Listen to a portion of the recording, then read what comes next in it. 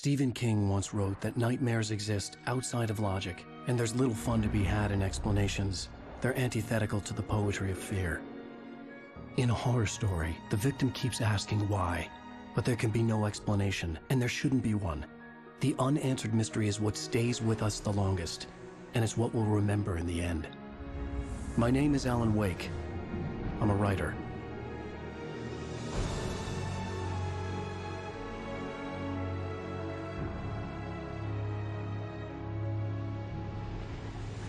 I've always had a vivid imagination, but this dream unsettled me. It was wild and dark and weird, even by my standards. So, yes, it began with a dream. Following a typical nightmare pattern, I was late, desperately trying to reach my destination, a lighthouse. For some urgent reason, I couldn't remember. I'd been driving too fast down a coastal road to get there.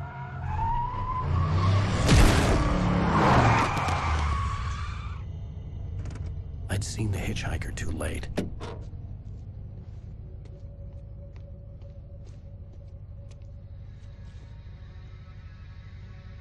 He was dead.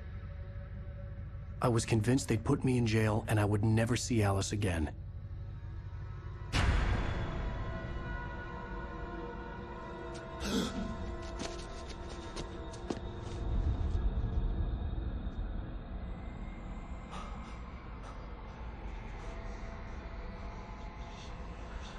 Suddenly, his body was gone. I was in shock from the crash. I could hardly stand my feet.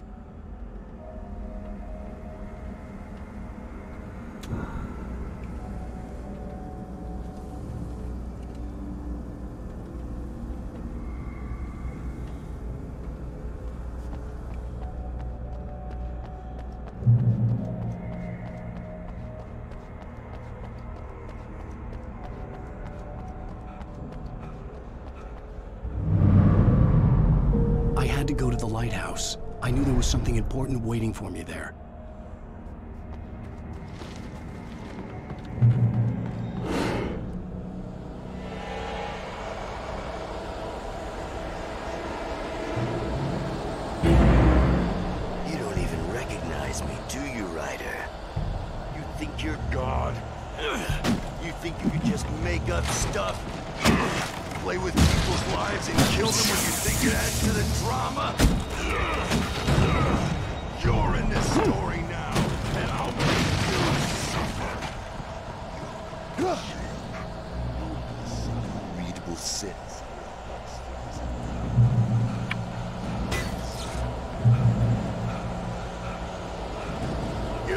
Your deadline! Damn.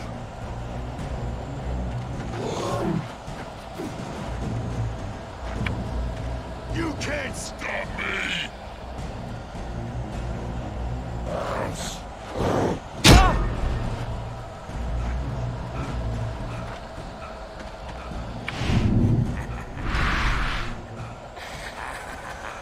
I realized that the hitchhiker was a character from the story I'd been working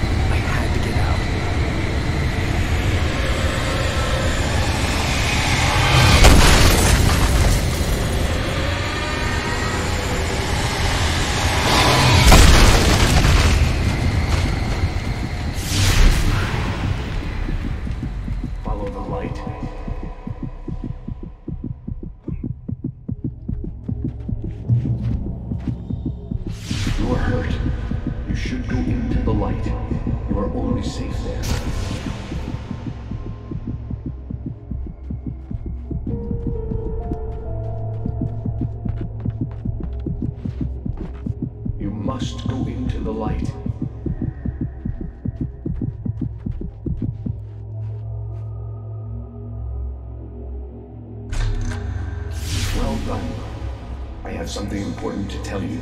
It goes like this. For he did not know that beyond the lake he called home lies a deeper, darker ocean green, where waves are both wilder and more serene. To its ports I've been. To its ports I've been. Do you understand? No. Follow my light.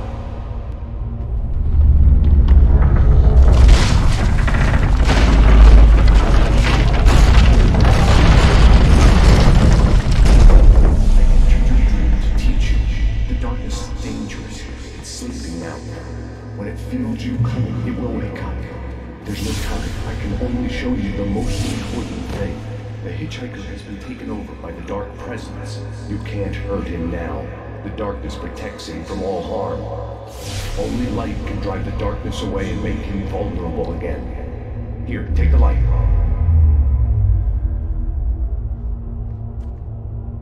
Turn your flashlight toward him and burn the darkness away.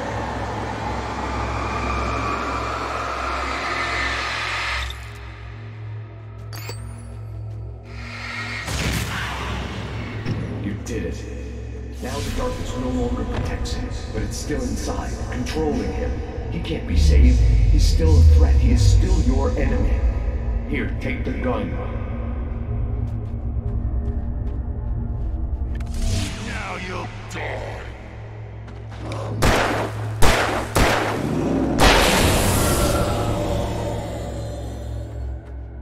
Good. You've done well. Remember what I've taught you. That is all. I will give you back your dream now. In the nightmare, a terrible darkness was taking over the world. The lighthouse was the last safe place on Earth.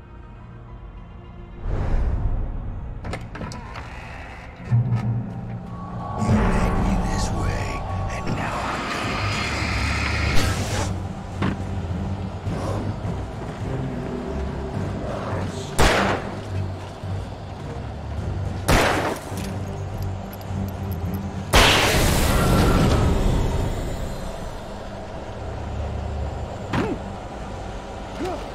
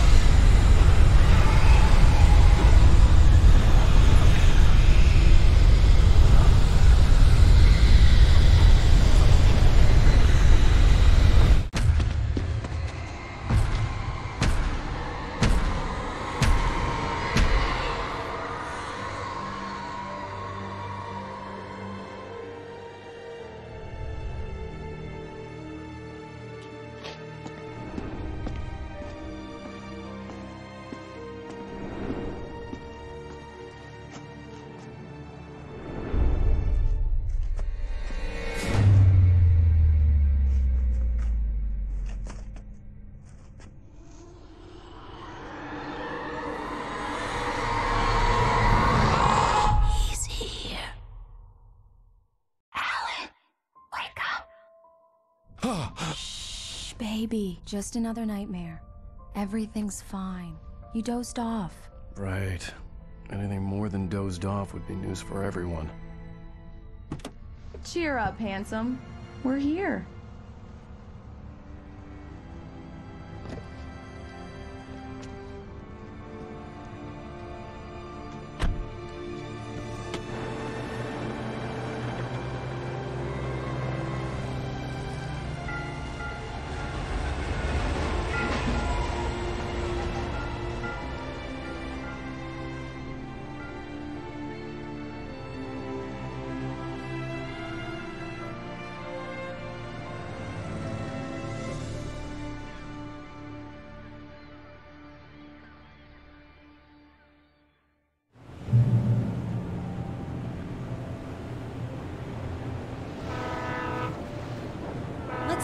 On vacation.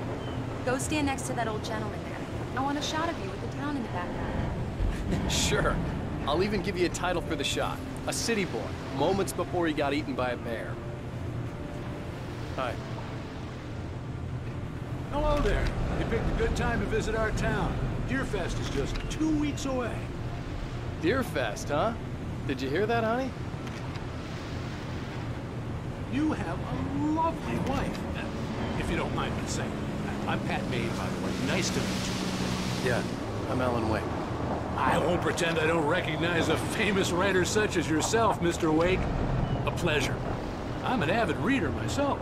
I hope this isn't too presumptuous of me, but I'm the night host at the local radio station. Any chance I can get an interview? Look, Mr. Maine, I'm on vacation. In fact, I'd appreciate it if we could keep my being here just between the two of us. I'm sure you understand. Fair enough. You can trust me to be discreet. Not a hard man to track down if you change your mind, though. I hope you two have a lovely holiday.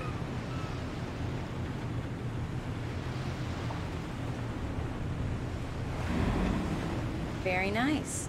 I got a couple of really good ones. So you made a friend. That's cute. Right. Yeah? Hey, bestseller, how's my favorite writer? Are you there yet? Barry. Yeah, we just got here. Are the locals giving you trouble? Just say the word, and I'll hop on a plane and come make sure that you're left alone, Al. No, Barry, we're fine. Great, great. Just want to make sure you can relax and recharge. So, how is the place? Has it gotten your creative juices flowing? Barry, we're just settling in. Okay, Al. I'll call back later to make sure you're doing okay. And you call me if there's a problem, okay? Okay. Just looking out for you, buddy. Talk to you later. I love you too, Barry. You know he's going to be calling you every five minutes. Barry is Barry. I can always turn off the phone. What did I tell you? Text message from Barry. He says hi to you too. here. Come on, let's get back to the car.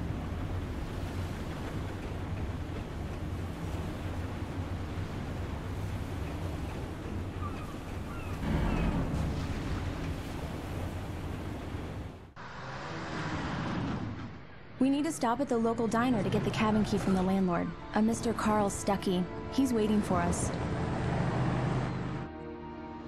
I'll go fill her up while you get the key. I'll pick you up here in, say, 15 minutes? Sure. Alan, thank you for coming here with me. I love you too. Go on. I'll promise to behave.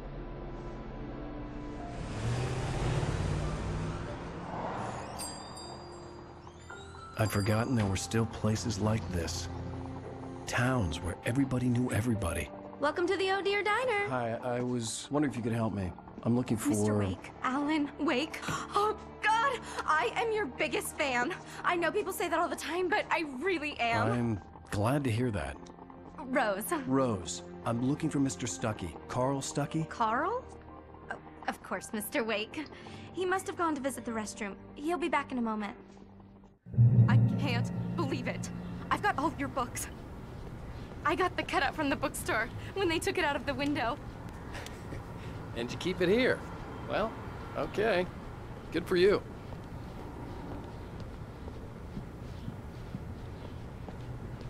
Try the coffee. Do Just don't me a favor, Sonny. I could really use a tune right now. Coconut, number six in the jukebox. I'd do it myself, but both of my legs have gone to sleep. Bad circulation. Yeah. Are you serious? Coconut Don't again? go in there, young man. You can hurt yourself in the dark. I think I can handle it, ma'am. I didn't want to wait. I wanted to find Stucky, to get the key and get out as soon as possible. The waiter...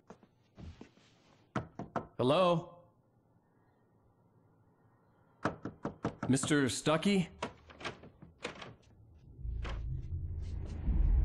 Carl couldn't make it. Unfortunately, he was taken ill. But I have the key for you and instructions on how to get to the lake. Okay. I wish you a good stay in my cabin. I'll come by later to check how you've settled in. And to meet your wife. I insist. Thanks.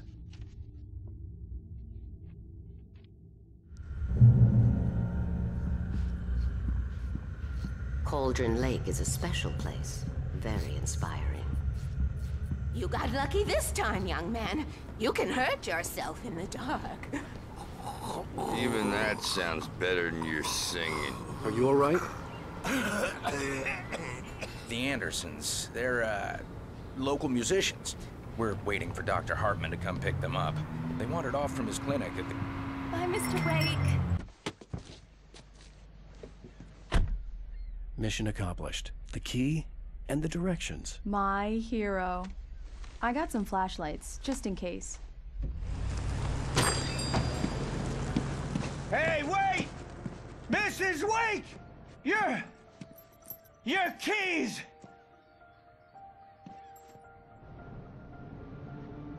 That diner was a real nut house.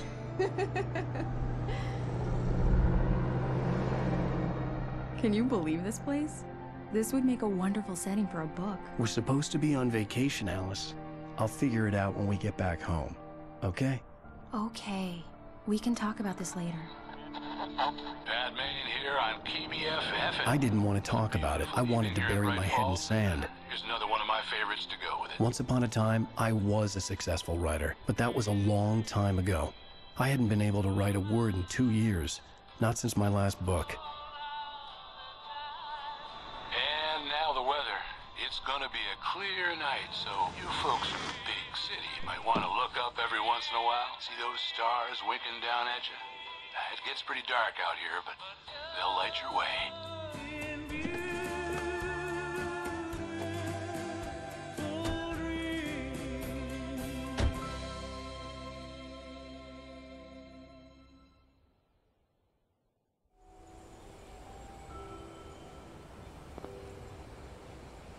Wow. It's gorgeous, Alan. It's something, all right. Don't worry, honey. I'll get you inside safe and sound before it gets dark. And I've got the flashlight. Alice had a phobia, the fear of darkness. I wanted to make sure we were inside with the lights on before sunset.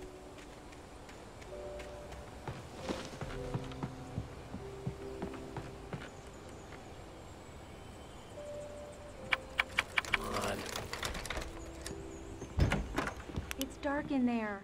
We need lights. Can you figure out how to get the power on, honey?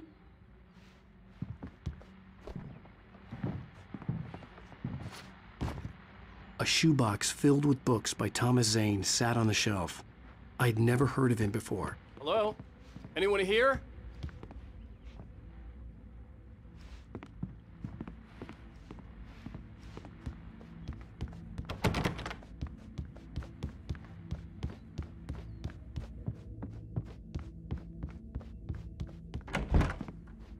A moment, the oppressive feel of the nightmare I had seen on the ferry returned.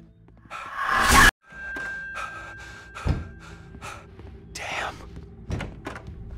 The cabin looked like a time capsule from the 60s, or even earlier. I needed to get the power running in the cabin. There had to be a fuse box or a generator somewhere on the island.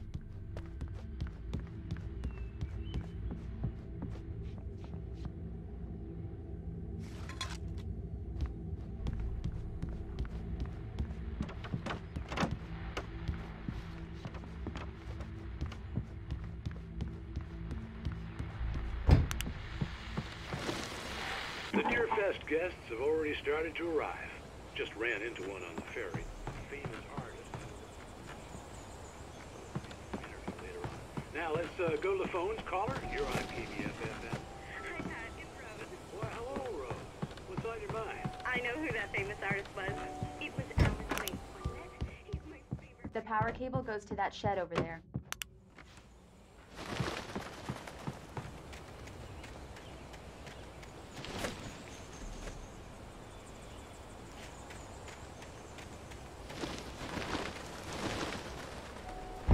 Old generator had been connected to the power cable.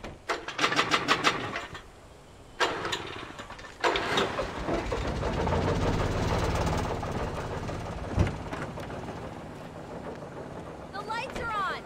Good work, honey. I'll freshen up a bit and start settling in. Okay, I'll look around a bit. The island had once been the site for a love story. Maybe it would be that again. Was a beautiful place. I told myself I could rest here, sleep here, and forget about my work. I thought we could be happy here.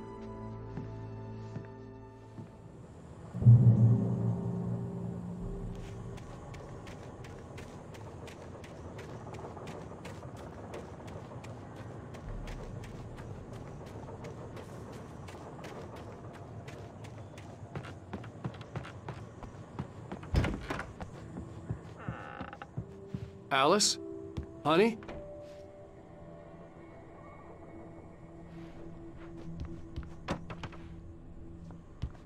Alan, I'm upstairs. I have a surprise for you.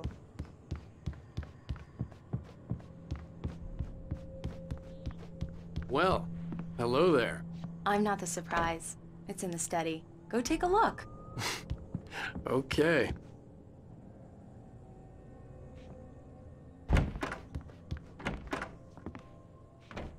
Surprise! Alice? What is this? I guess I have a small confession to make. I thought maybe you could write here that a change of scenery would get you past. Damn it, Alice! You. Everyone Hey, keeps- hey, hey! Just hear me out! There's a local doctor, Dr. Hartman. I read a book of his. He has a private clinic here. He specializes in helping artists. So Maybe- now you want to get me committed? No! It's not like that. That's not. Alan? Alan? I don't, just don't. I don't want to hear it. God damn it, Alice. God damn it. I knew she wouldn't follow me in the dark. I needed some time alone to think things through.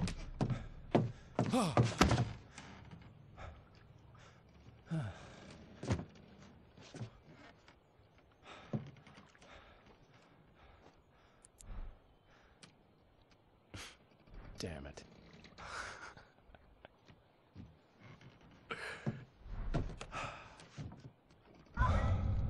Alice? Alice! Alice! The cabin had gone dark. All the lights were out.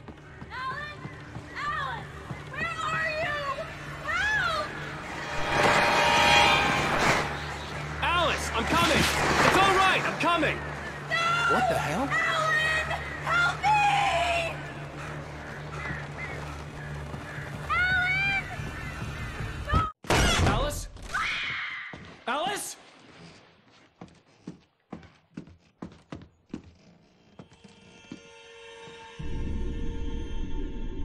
Oh no!